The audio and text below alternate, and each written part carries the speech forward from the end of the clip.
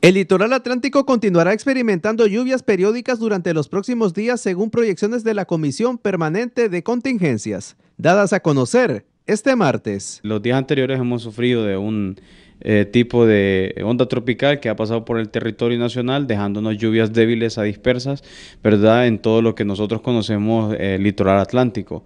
Para el día de hoy, pues se espera un aproximado de unos 5 milímetros como máximo en, el, en nuestro departamento y eso pues dejará lluvias en la parte en la hora de la tarde así como hemos estado experimentando estos estos estas semanas anteriores verdad y Senado lleva una vigilancia constante y hasta los momentos vamos a tener eh, un espacio de tiempo con unos 15 días, 20 días de no, de no presentar ningún tipo de formación.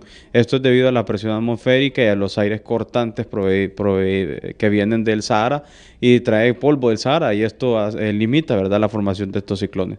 No obstante, desde el Comité de Emergencia Municipal se vigila la formación de nuevas ondas tropicales, lo que extendería el desarrollo de precipitaciones para la región. Ya está a la vista, cerca de la altura del Cabo, gracias a Dios, la, onda tropical número 10 y más hacia la zona de las Antillas Menores ya viene en curso también la onda tropical número 11.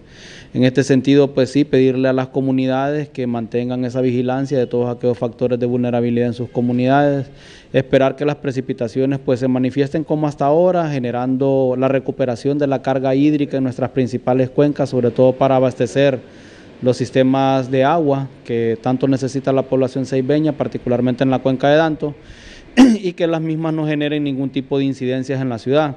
Para Telenoticias informó Luis García y en cámaras, Leonardo Macoy.